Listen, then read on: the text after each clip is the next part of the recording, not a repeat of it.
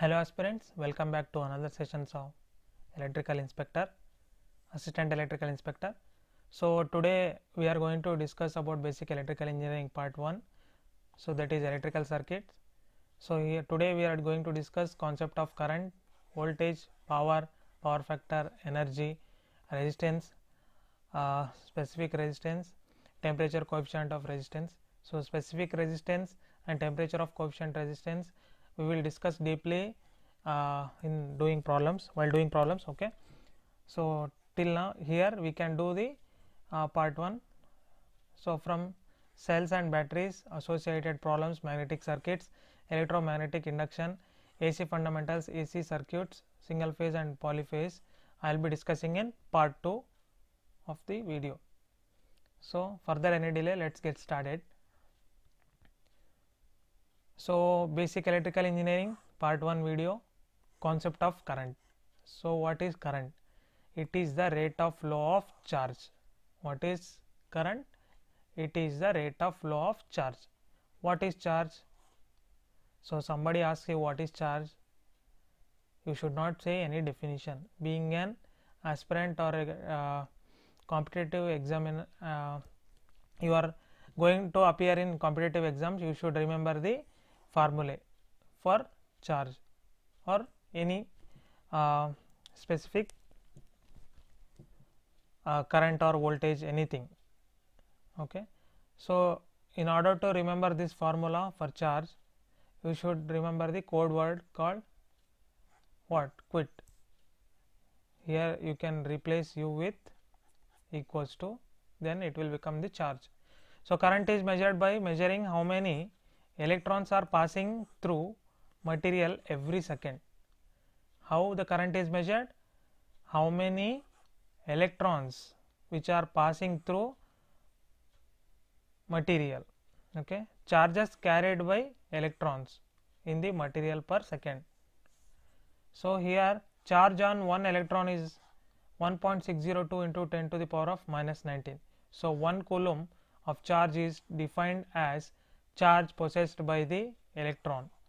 So, 1 coulomb is nothing but 6.25 into 10 raised to 18 okay? Small correction here. Okay? What is the 1 coulomb?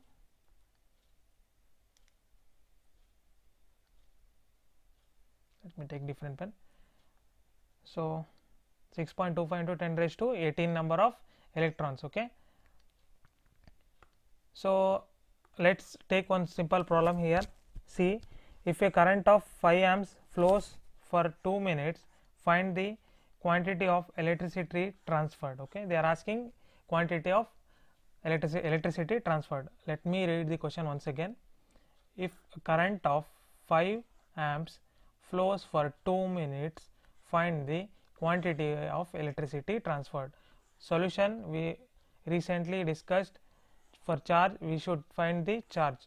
So, formula for the charge is nothing but q equals to I into T. What they are given current they have given I as 5 amps and they have given time that is 2 minutes. So, time is in seconds but they have given in minutes. So, we need to convert that minutes into seconds. So, 2 into 60 for 1 minute it is 60 second we all know that so 120 so q equals to 5 into 120 it will become 600 coulombs. So this is the quantity of electricity transferred in the electrical circuit. Okay? So if if we talk about uh, range of current in micro amps milliamps amps in kiloamps. Symbol nota notation uh, like small i capital i uh, i vector and i of t. I of t y uh, time varying current. So circuit symbol it is represented like this. Arrow going upwards arrow going downwards represent higher potential lower potential of current. So ac means sinusoidal it will be represented like this. So in uh, if we talk about the voltage or current here we are talking about current right so practical applications or devices components are DC series converter BJT is a dependent current source. Current is constant in BJT okay? For time being you stick to this. I will explain this in future that is in analog electronics. So in AC if we talk about AC feeder lines in power system gives the current and CSI drive in power electronics that is current source inverter okay this is about current now we will discuss about voltage. So voltage is defined as okay what what it is? So it is the amount of work amount of work or force required to push or move a unit of charge okay from one point to another point. Work amount of work or force required to move a unit of charge to one point to another point is nothing but voltage okay the different names for voltage are also electric pressure electromotive force or electric potential. And unit of voltage is volts okay? So or joules per coulomb. Where this joules come from means electrical potential is nothing but electrical potential equals to work done divided by charge. Work done is from newton force and joules okay? Range of voltage is nothing but millivolt volt kilovolt megavolt okay? Symbol it is represented like this.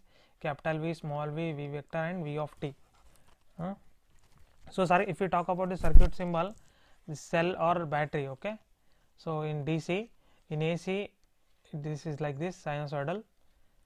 So practical application of voltages in DC is nothing but cell battery fuel cell. They all they all are used as a uh, DC voltage source PV solar cell rectifier DC to DC converter DC generator. If we talk about AC alternator UPS uninterrupted, uninterrupted power supply inverter okay? So let's move forward. If we talk about the resistance it is a LTI linear time invariant electrical property of a material which opposes the flow of current okay? It it may feel difficult for you.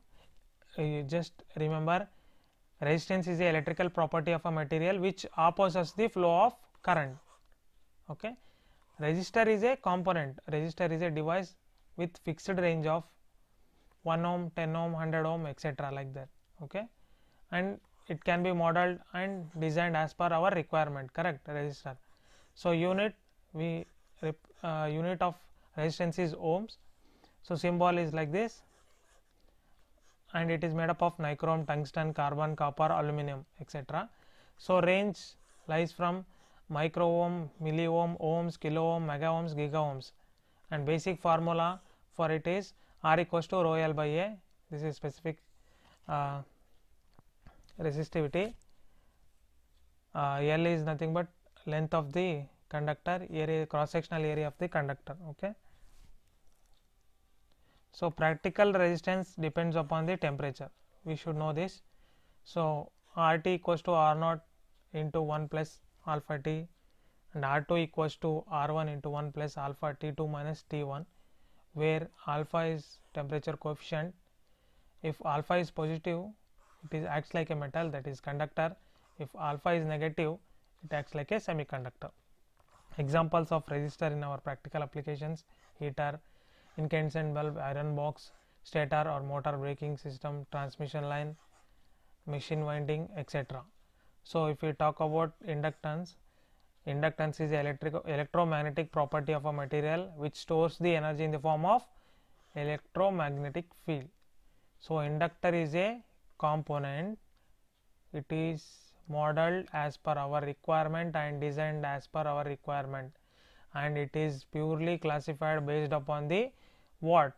Core material. Core material okay? What are all the core material? Ferrite core iron core or air etc so symbol is represented like this okay? So unit of inductance is henry or volt second per ampere and range lies from uh, micro henry milli henry henry etc this is v equals to l di by dt kind of ohms law. So totally there are nine kinds of ohms law with different components. I'll explain in further classes or upcoming classes okay? Uh, if we talk about basic formula for inductance L equals to mu into n square A divided by L where n is nothing but number of turns of a coil. A is here you can see the number of turns okay? Area of cross sectional of core in meter square where L is the length of the magnetic flux path. So, mu is nothing but permeability okay? There is absolute permeability and its value is 4 pi 10 raised to minus 7 Henry per meter and relative permeability. If we talk about relative permeability relative permeability in air or free space is 1 and relative permeability in iron it is 1000 examples of uh, inductance or choke coil transformer machine winding transmission line so if we talk about the next if we talk about the capacitance okay it is a electrostatic property of a material and stores the energy in the form of electrostatic field. So capacitor is a component and it is modeled and designed as per our requirement okay. It is classified based upon dielectric material. What are all the dielectric materials we have? It is polyester mica distilled water glass paper oil. These are the some dielectric material. Capacitance is purely depends upon this dielectric material. Okay? And symbol is like this. Okay? It seems like a battery. Yes. So unit is farad or ampere second per volt and ranges lies from picofarad microfarad millifarad farad etc and represented as i is equals to c dv by dt this is one kind of ohms law as i said before so it also represented like v equals to 1 divided by c integration of i dt and basic formula is c equals to epsilon a divided by d where epsilon is nothing but permittivity of a capacitance. Here we have absolute permittivity and uh, what? Relative permittivity of a dielectric. So if we talk about absolute permittivity its value is 8.8542 into 10 raised to minus 12 farad per meter and relative permittivity of dielectric uh, dielectric in air is 1 where here A represents what common cross sectional area between electrodes in meter square and D represent distance between electrodes in meter. As distance increases between two electrodes the capacitance will decrease. Okay. Likewise, if we talk about examples of capacitor, okay, phase shifters, power factor, VAR corrections, passive RC filters, pulse generation, digital circuits, touch screen of cell phone, transmission lines. Okay. So, now quickly uh, look into power. So, what is power? The rate at which electrical work is done in an electrical circuit is called power. Once again, the rate at which electrical work is done in an electrical circuit is called power and unit of power is watts. And it is represented like P equals to V into I joules per second or watts. Okay work done per time taken. Okay. So and ranges lies from milliwatt megawatt uh, sorry watt kilowatt megawatt or gigawatt. So power can be expressed as p equals to vi or i square divided by i square into r or v square divided by r. I square r is nothing but power dissipated in an element. So if we talk about electrical energy an electrical energy is the total amount of electrical work done. See the difference between power and electrical energy. Here rate at which electrical work is done. Here total amount of electrical work done okay?